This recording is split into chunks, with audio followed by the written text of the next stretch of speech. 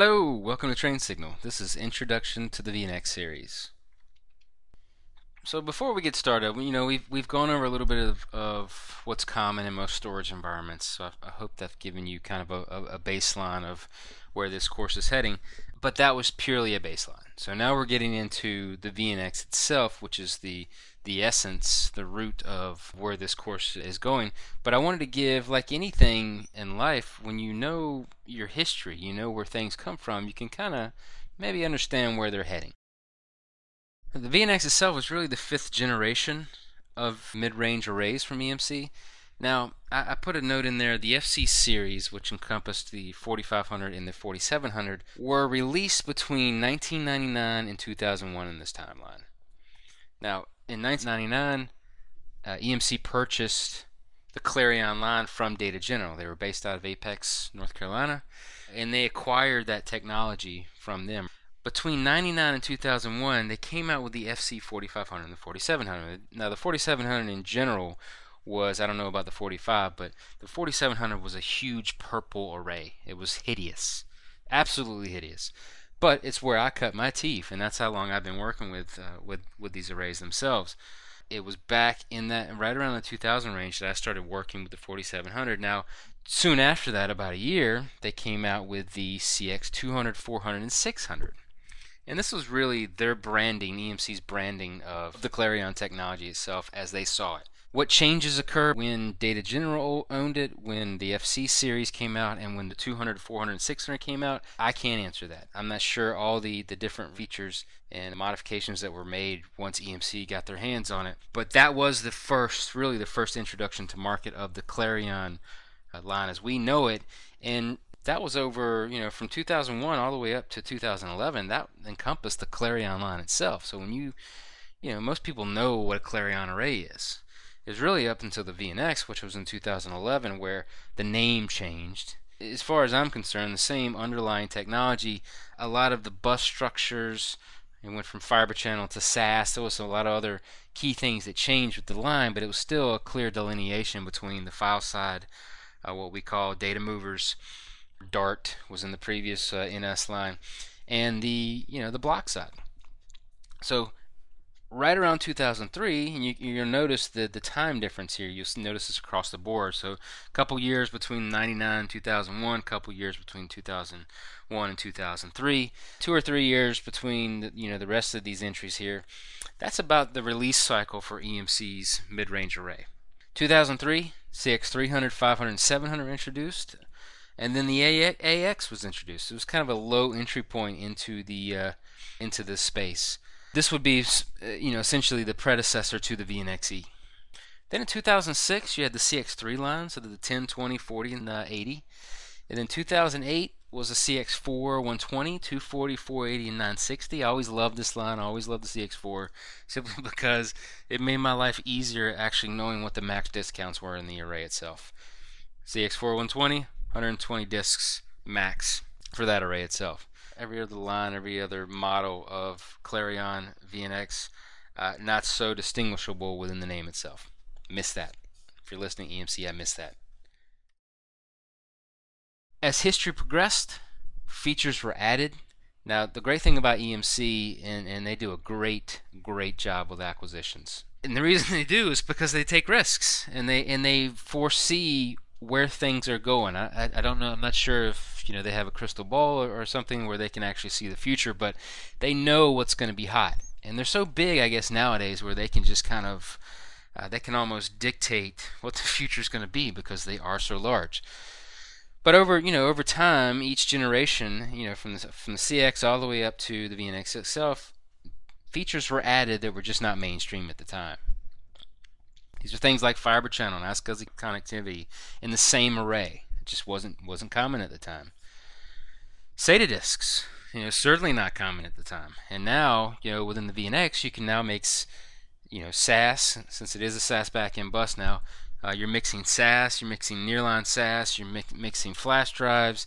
You have all these mixing of different different drive types. That just was not common when this first hit the market varying levels of array technology. That was not common either. You know, typically it had one, maybe two in early on in mid-range arrays. RAID levels. You know, maybe it had uh, RAID 1 or in RAID 5. Now it's progressed, it's grown even more. I mean, the, the VNX itself has RAID 0, has RAID 1, 3, 5, 6, 1 plus 0. I mean, it's it's got a whole gamut of different RAID technologies that, that you're able to utilize depending on your use case. I mean, it's very important you know what type of I/O is going to be written to this, uh, or the the I/O footprint, I guess is a better way to put that, is going to be written to the disk that you're allocating. That's important for you to know so you can determine what what type of RAID technology best fits that I/O profile. Active passive head design. That was just not common at the time. And what active passive head design in, in if I could summarize in kind of a couple sentences what it actually means is that if you have a LUN, you have a logical unit, uh, that raw LUN you're allocating to your host so that host can write some data to it. Okay. With an active passive head design, that LUN is either owned by one storage processor or the other. We talked a little bit about SPs. So the LUN itself is actually owned by one head or the other, one SP or the other.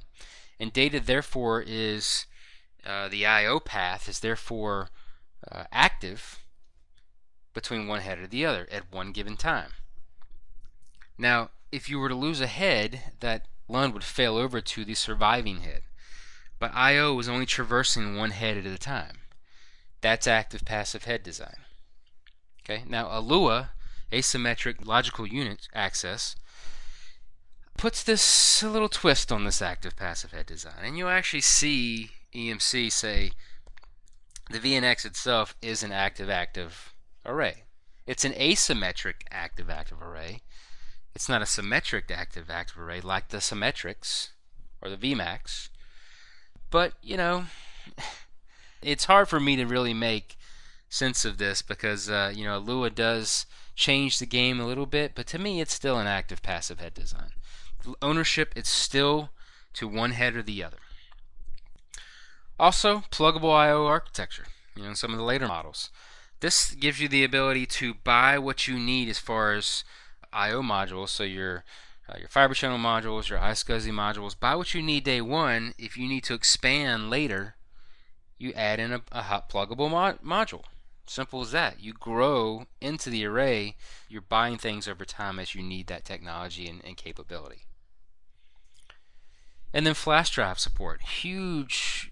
Flash drives in general are just becoming a huge beneficial uh, technology to the industry, and it's really changing things uh, dramatically.